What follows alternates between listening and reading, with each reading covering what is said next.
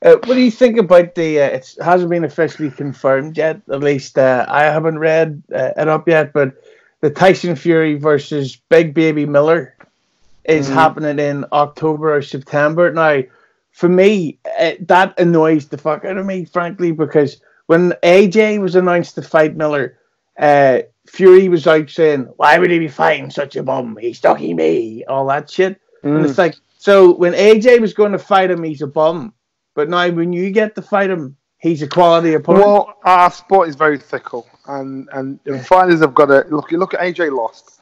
Look at what Wilder said. Look at what Fury said. You know, Fury actually came out and, and just said, "Look, you know, push yourself down, get on with it." Wilder had a dig and kicked him while he was down.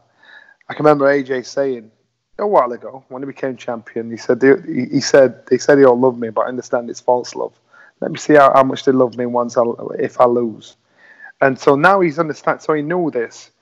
Uh, and, and, fighters, they've got to somehow. You've got to get into the psyche of an opponent. You've got to get into the psyche of somebody that could be your potential foe. So if you can slag in now, you can slag the opponent now. You're going to do it.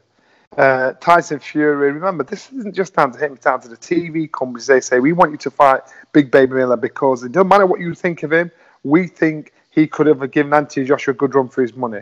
We've given, and, and, and so Big Baby Miller gets another crack at world class level because that's what it is. Like him or not, he's world class level. Tyson Fury. He's the man that beat a man. He's the man that's that that, in my opinion, beat uh, Deontay Wilder. Um, so you've got to give it to him. His style isn't attractive. Uh, he doesn't look graceful. He doesn't look attractive because he's like a big baby giraffe, but he's got it down to a T.